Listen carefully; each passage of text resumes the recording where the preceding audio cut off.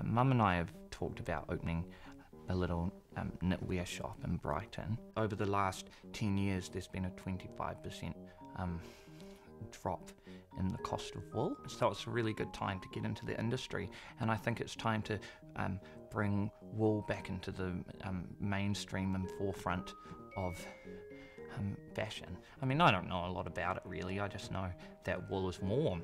And people need to be warm. You'll, there'll always be a market for warmth. We've got a machine that knits.